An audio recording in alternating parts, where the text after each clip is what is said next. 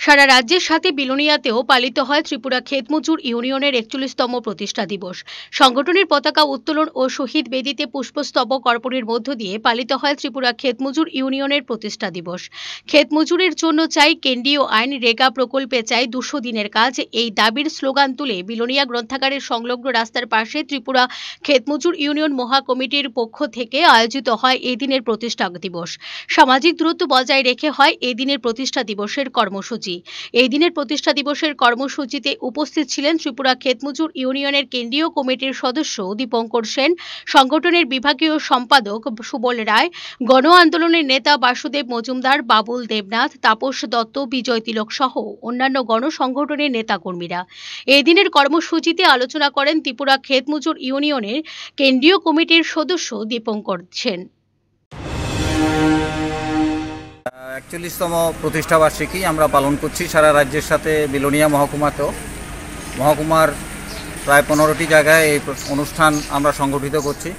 উনিশশো আশি সালে কমরেড দশরথ দেব কমরেড সমর চৌধুরীর হাত ধরে উদয়পুরে সম্মেলনের মধ্য দিয়ে এই সংগঠনের জন্মগ্রহণ করেছিল। খ্যাতমযুদ্ধের মানুষ বলে গণ্য করতো না।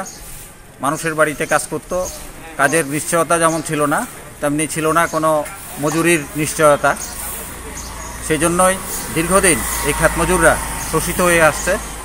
আটাত্তর সালে বামফ্রন্ট সরকার যখন প্রতিষ্ঠিত হয়, তখন তারা তাদের দাবি আদায়ের জন্য উদ্গ্রীব হয় এবং এই দাবি আদায়ের জন্য তখন সরকারের কাছে বিভিন্ন সমস্যাগুলো তুলে ধরার জন্য সিদ্ধান্ত নেয় যে খ্যাতমজুরদের জন্য একটি সংগঠন গড়ে